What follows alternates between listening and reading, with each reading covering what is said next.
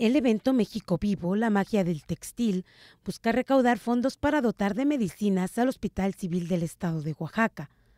Mujeres empresarias visionarias buscaron con ello que los oaxaqueños se sumen a ayudar de esta manera a quienes más lo necesitan. Ante la falta de presupuesto e interés del gobierno en todos los niveles de procurar por la salud de la población, sobre todo ante los constantes anuncios de recorte presupuestal en materia de salud y programas sociales del país.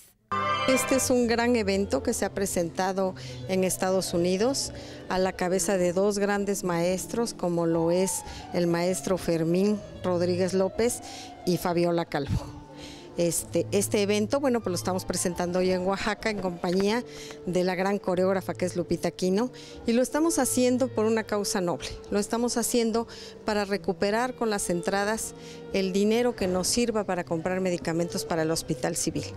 La idea es poderle dotar al Hospital Civil de los medicamentos más indispensables para que la gente no esté falleciendo, para que los niños no estén sufriendo dolor para que pueda haber bolsas para diálisis, para que pueda haber medicamentos para las quimioterapias. Esa es la idea de este, de este evento.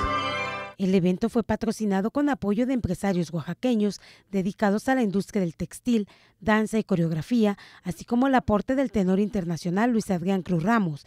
En el evento se hizo un recorrido por la historia de México a través de la moda textil.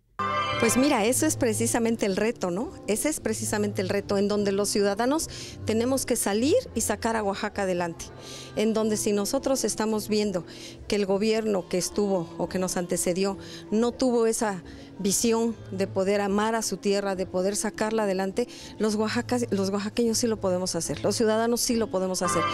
Y es que la alta demanda de medicamentos que se registra principalmente por parte de personas de escasos recursos provoca que debido a los altos costos no puedan dar continuidad a sus tratamientos en muchos casos de enfermedades crónicas o letales. Que podamos sacar esos recursos de donde no los hay porque tenemos que luchar por nuestros oaxaqueños, por los enfermos, por los niños, por las mujeres, por los jóvenes, por los empresarios, por los comerciantes. Por ellos tenemos que hacerlo, por Oaxaca, porque Oaxaca nos está necesitando. Solo le pido a Dios que el dolor no me sea indiferente, que la resaca muerte no me encuentre vacío y solo sin haber hecho lo suficiente. Y con la estrofa de la canción del escritor argentino León Gieco, reconocida mundialmente en voz de la cantante Mercedes Sosa, Rebeca Cervantes, voluntaria de Ayúdanos a Ayudar, cerró el evento agradeciendo a los presentes por su generosa aportación. Con imágenes de José Antonio Reyes, informó para MBM Televisión Alexis Espinosa.